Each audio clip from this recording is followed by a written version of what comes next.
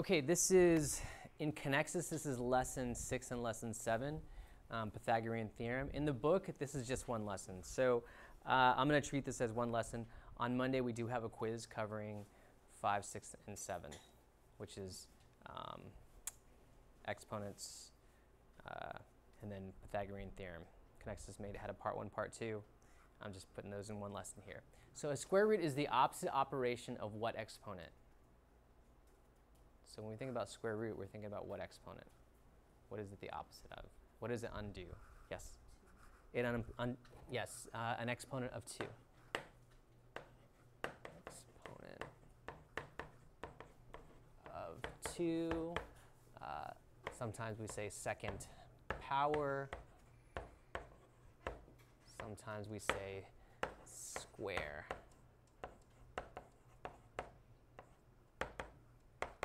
Okay?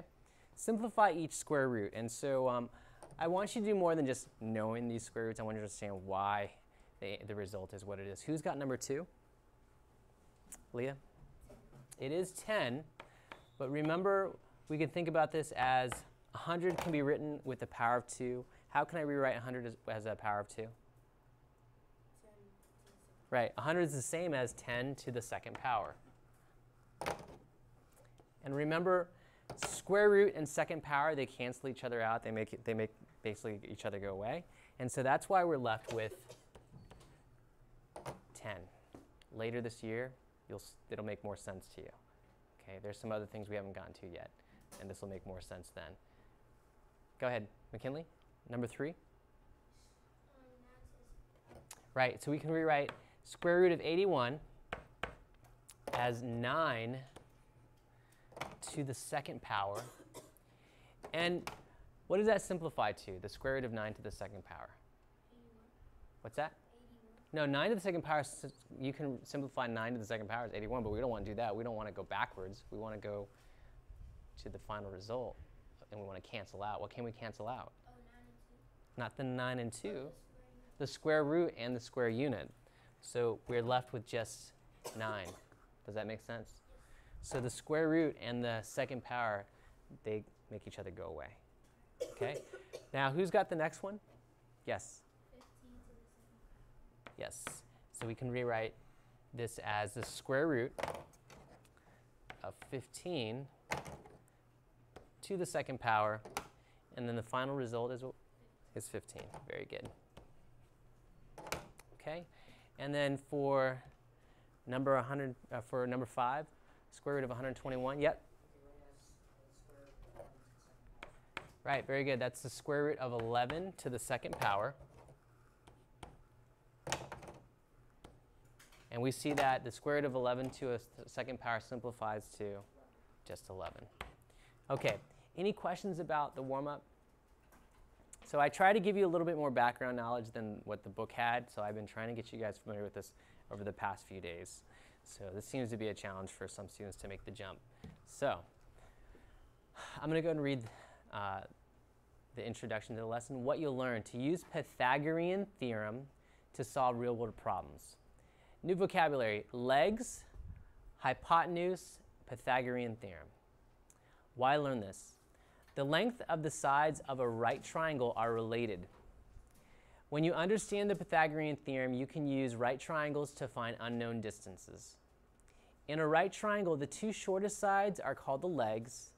The, two, the side opposite the right angle is called the hypotenuse. Okay, so students tend to confuse what sides of a right triangle are the legs and what side is the hypotenuse. So let me give you a trick that I've used over the years to help my students out, and it seems to work. So, let's talk about the Pythagorean theorem first. It says the Pythagorean theorem states that any right triangle, the sum of the squares of the lengths of the legs, okay, so if you take the legs and you square them and you add them together, that equals the square of the hypotenuse. So let me explain what that means. First, we need to know what the legs are. So first, the legs are the sides that form the right angle. And what letter does that look like? An L. So remember this. The legs form the right angle. Okay? Good way to remember it, right? Charlie speaking.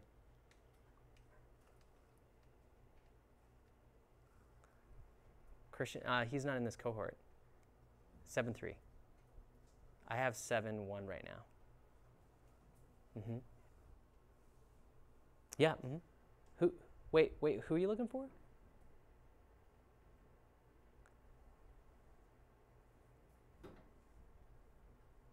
Um, no, she's actually with Mr. Harris for math. Mm-hmm.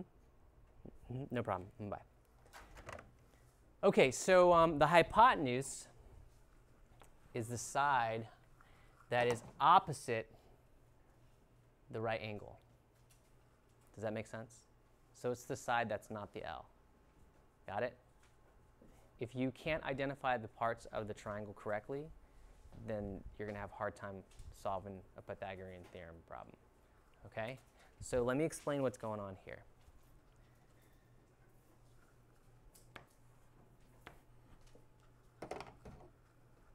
This is how the book shows it to you.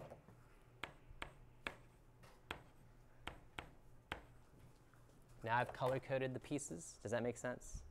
A and B are the legs. C is the hypotenuse. Okay?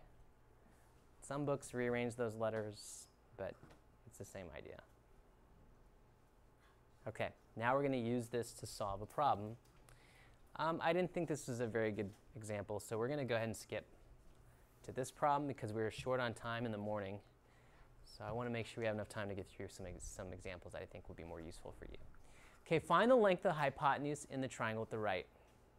Okay, so we have this triangle. We need to find the length of the hypotenuse. So I need you to set up the equation. If you want, I'll go ahead and copy the equation over. But you're going to eventually need to know the equation.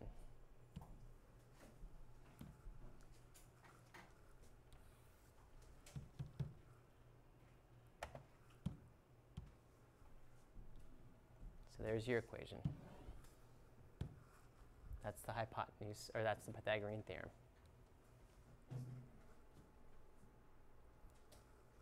So we have to um put eight into the second power and fifteen, and then multiply that into the second power and ten. Mm, how about you try to f- plug this in and, and work it out? And then we'll answer your questions in a moment.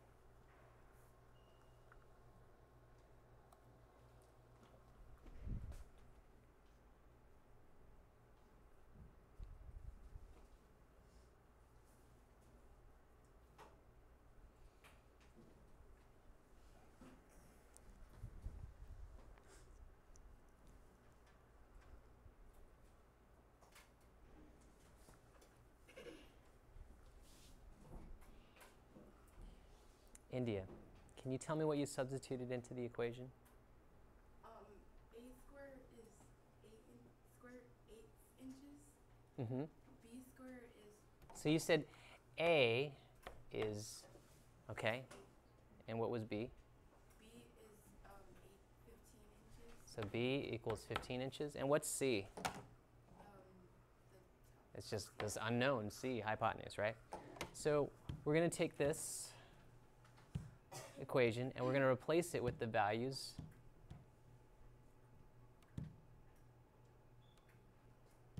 that you gave us. And you're correct. So instead of A, we're going to use 8 inches. Okay. And then instead of B, we're going to use 15 inches.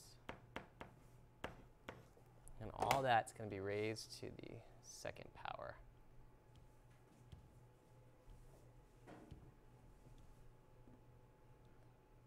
See if I scrunch all this in here. Okay.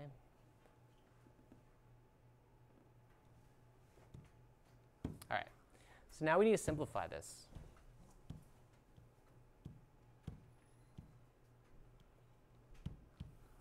So let's go ahead and simplify this. And solve for c. So what's what's 8 inches to the second power?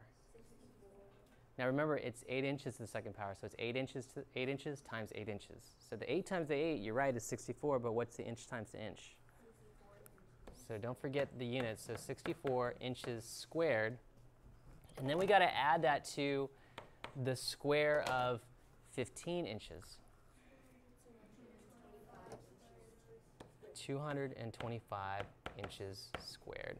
And all that equals c squared.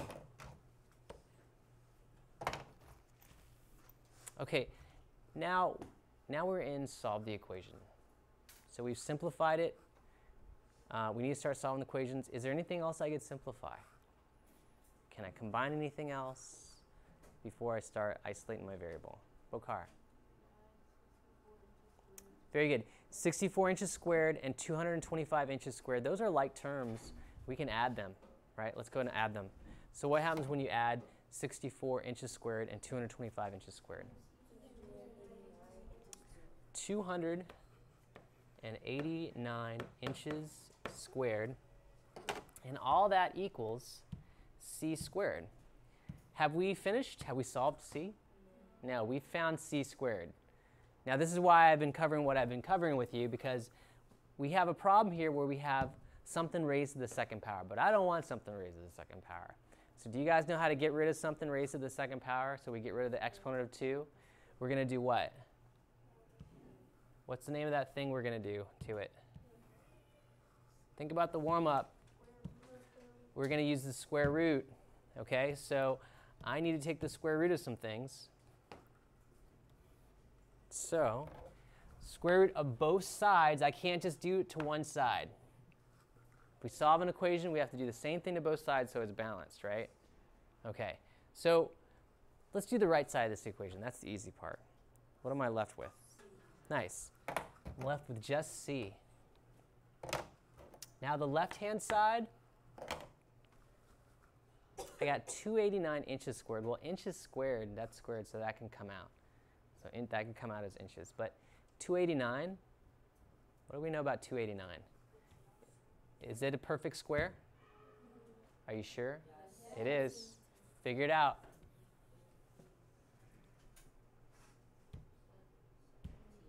Who's got it? I can say 17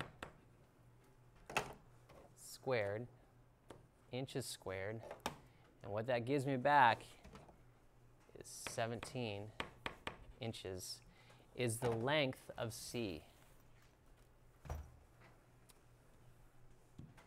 So hopefully now you understand why I've been trying to get you guys to think about it this way. Okay? Does that make sense? Yep. So what happens if like you don't know if it's a perfect square? Do you just keep? No, remember the strategy we talked about with estimating, finding benchmarks that are perfect squares around it? We can estimate it that way.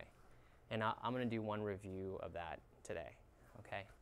Um, any questions about this? Okay. Let's go ahead. Now, you can use Pythagorean theorem to find the length of a leg of a right triangle. So now, in the last couple problems, we found the hypotenuse. Now we're not trying to find the hypotenuse. What's missing here? One of the legs, right? So here's the, here's the thing with Pythagorean theorem. If you know two of the three legs, you can find out the third using Pythagorean theorem. That's, we, we kind of use the same idea to solve for a missing angle, right? If we knew three of the interior angles, right? The interior angles add up to be 180, we can solve for the third missing one. Well, now we're not finding angles, we're finding the length of a side.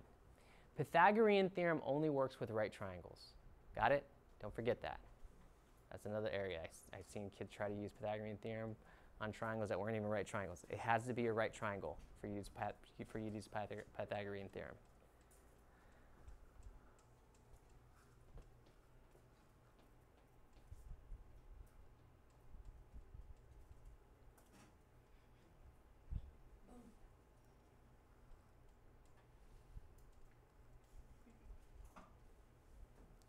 pretty bad if that could you could upload it to YouTube to get a lot of hits. You put the hit math teacher gets hit by. Everybody that hates math will go look at it. How do we set this up?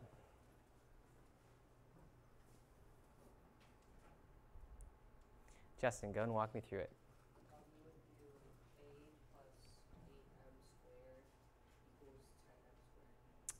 Right. So um, using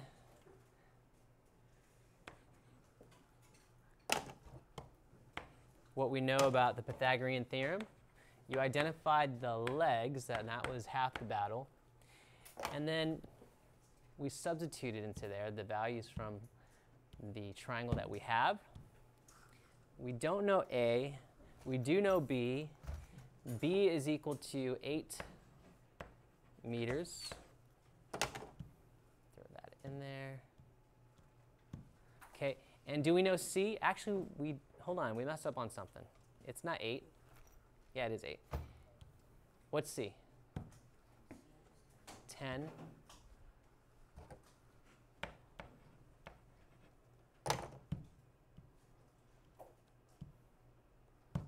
Okay, and I should have put something around that.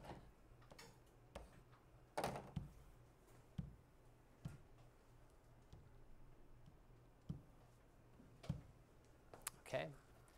Now let's go ahead and simplify this.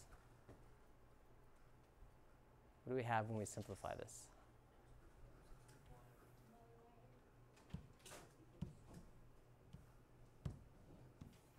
What's 8m squared going to become? Becomes 64 meters squared. And then that's going to equal whatever the hypotenuse squared is. What's the hypotenuse squared? 100 m squared. Now we got to we got to isolate my variable. There's nothing else to simplify. We need to start isolating my variable. So now we're in like working backwards, trying to get a by itself.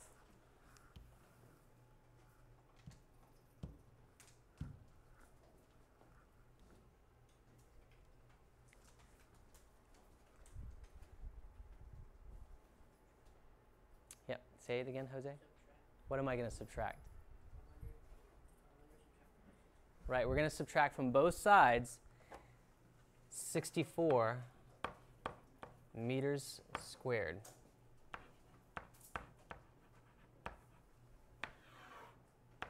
Okay? And I don't need you to show what this is. You just have to understand what happens to a positive 64 meters squared minus 64 meters squared? Becomes zero. So what does that leave with me on the left-hand side of the equation? A squared, right.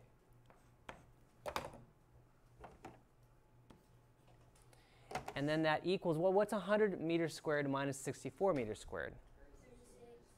That's going to give me 36. What, 36 what? Meters squared. Now we're really close to answering our question. Is that the answer though? We have one more step. What's the step? I need to find the square root because I gotta find a. I don't want to find a squared. Now, can I rewrite? Um, so if we take the square root of both sides, uh, can I rewrite 36 with an exponent of 2? What can I rewrite it as? 6 squared. So, so I now have 6 squared, meters squared, and I'm going to throw that all underneath the square root. And then, well, what does that simplify to? What's, what's a to the squared square root going to become? Just a. And what's 6 squared meters squared square root of that? 6 meters.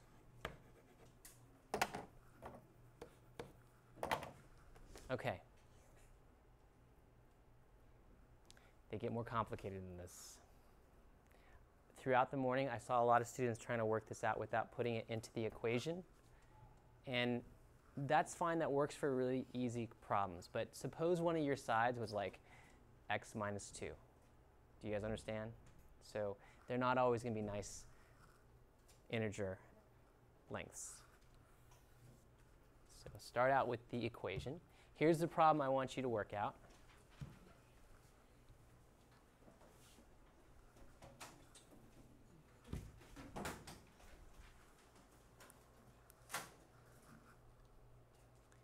You will have an integer solution.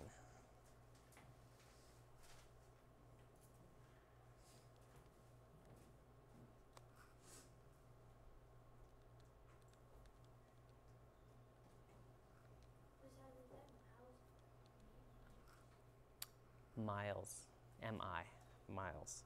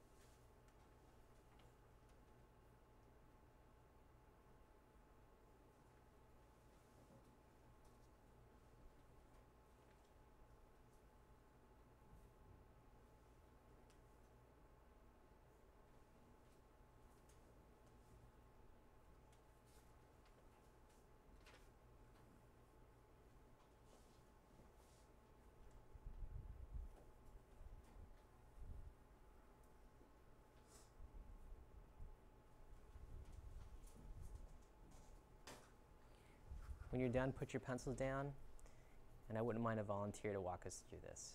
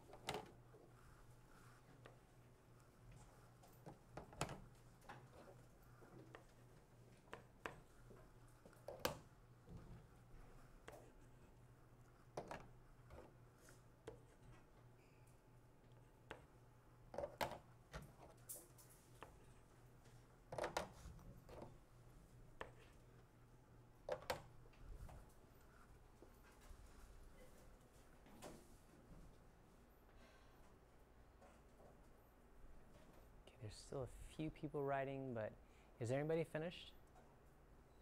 Bokar, do you mind walking us through this?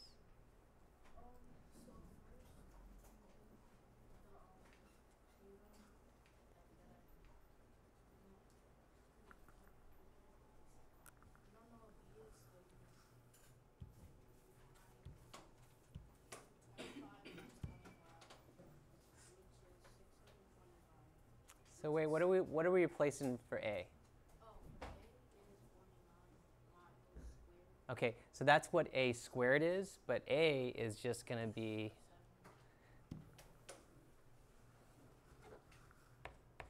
seven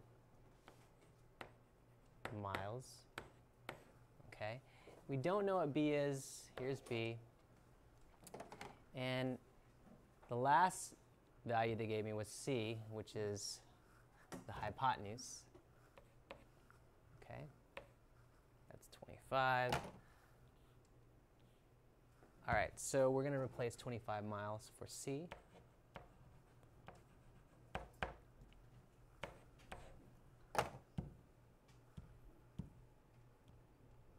Okay, now what you said is you simplified from this step. So what is it going to be? Right, so 7 miles quantity raised to the second power is 49 miles squared. Okay, and we don't know what b is, so we just leave that b squared. And then what about c squared? What is c squared? Very good. 625 miles squared. Now we need to start simplifying things so we can isolate my variable. We- need to isolate my variable. What are we subtracting? Very good. So if you don't have a sign in front of something, it's a positive, and we need to subtract 49 miles squared from both sides of the equation. So over here, and then minus 49 miles squared. Okay, and then we see on the left-hand side, 49 miles squared and minus 49 miles squared. What happens to those things? They become zero, they cancel, right? And so then I'm left with b squared equals, well, what's 625 miles squared minus 49 miles squared? It's 576 miles squared. So, very good. Almost done. Now what? Yep, we're going to take the square root. But can I rewrite? Is this a perfect square? Nice. What is it a perfect square of? Very good. It is the square of 24 to the second power.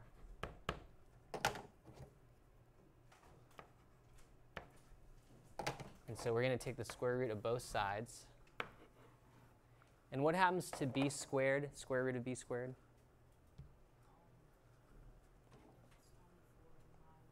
Well, what's this going to become on the left-hand side of the equation? What is this? Ignore everything else. No, no, it's not b to the second power anymore because I'm taking the square root of b to the second power. What's the square root of b to the second power? If that wasn't there, what would this be? Miriam, could you help him out? This just becomes b. Got it? This over here simplifies to become what? 24 miles. Okay? All right.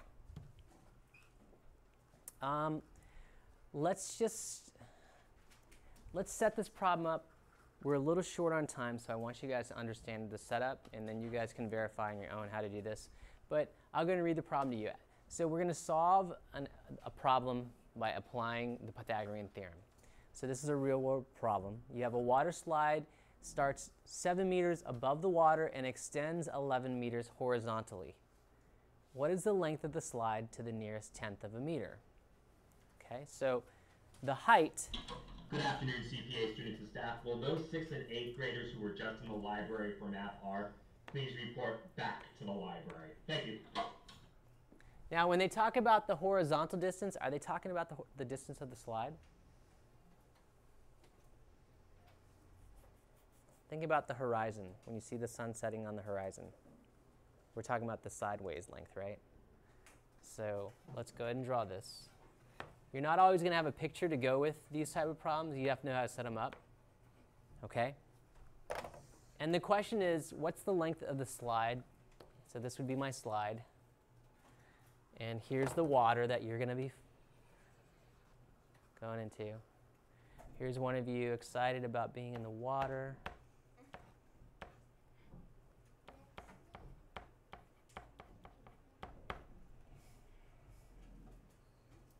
Okay, so now we need to figure out how do we set this problem up?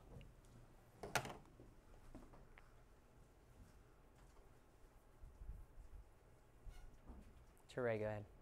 Um, so first, the, the, uh, height,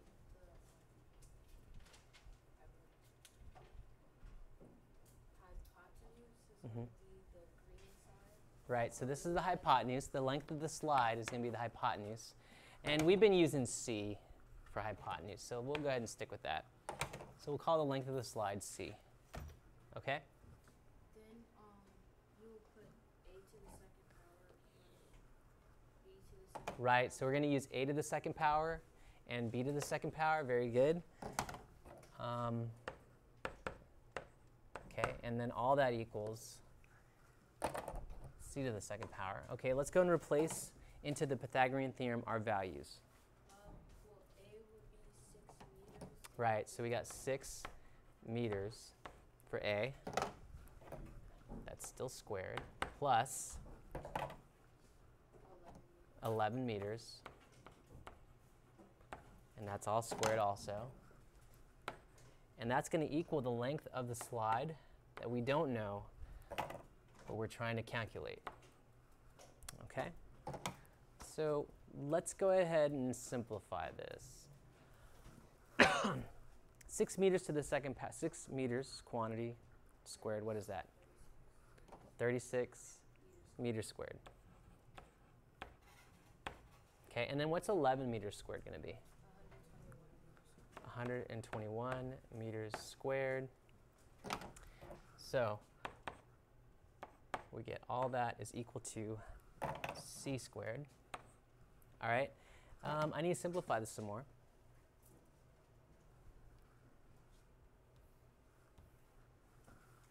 Let's go ahead and simplify this. What do we get?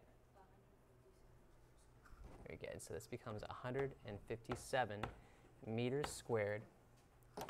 All that equals c squared. Okay. Um, how do we go about solving this? This is not a perfect square, right? Do you guys remember what we did with benchmarks and using perfect squares and estimating? So this is some review. This is when I taught lesson five. I want to review that with you really quickly. What whole, what perfect squares is this nearby? You said 12 and 13? Well, 12 is what? Okay, so on the number line 12 is the same as the square root of 144. And then you said 13. What's 13 to the second power? That's the square root of 169 is equivalent to 13. And what's halfway between 12 and 13? Is 12.5. And now we need to see on which side does that sit. Well, what's 12.5 to the second power so we can compare square roots? You said it's 156? 156 and 25 hundredths, so the square root. Okay, so now we're going to take the square root of both sides so we can estimate what c is, right? Well, 157 is, you know what, that's really, really close to 12.5, right? So I would say a good estimate would be just 12.5, right? Like that's super close to 156.25, okay? So I would say that a good estimate would be 156, 12 and a half meters equals C. And that is my answer. Okay? Almost done. The side opposite the right angle in a triangle is called the hypotenuse.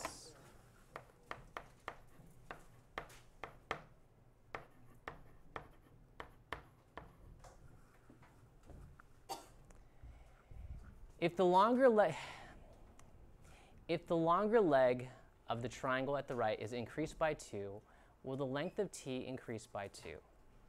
T is what side? Hypotenuse. So here's what it's saying. Pythagorean theorem tells us this triangle, 10 squared plus 5 squared equals t squared, right?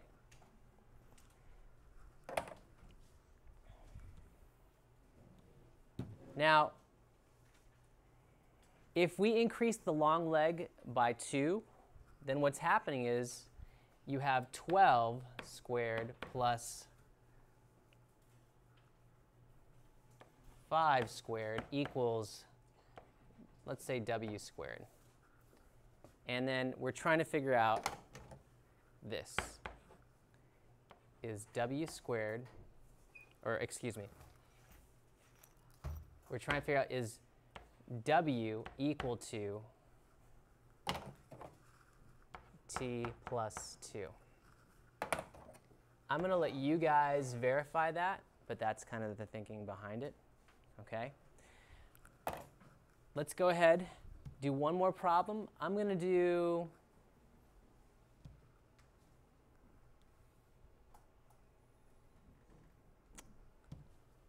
I'm going to go ahead and do let's do let's do this one in the middle.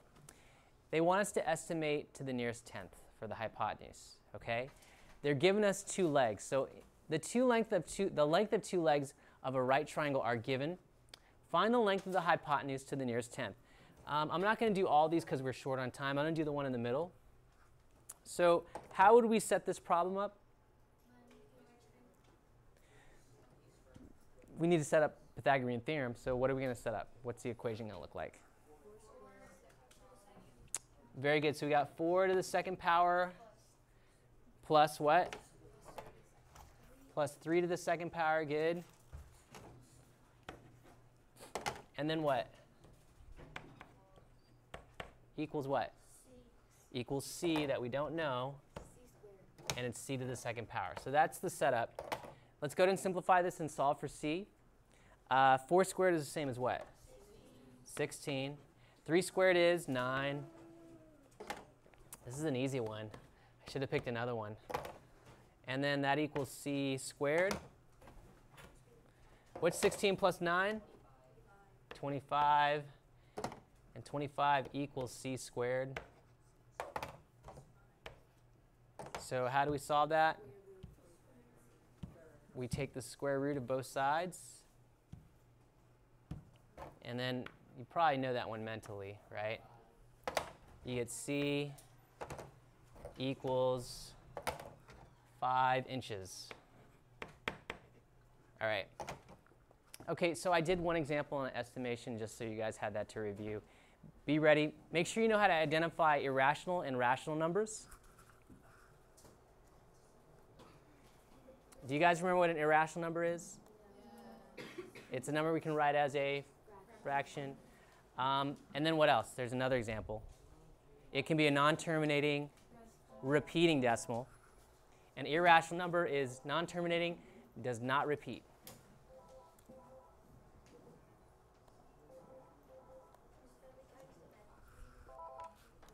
Hello, Mr. Headley speaking.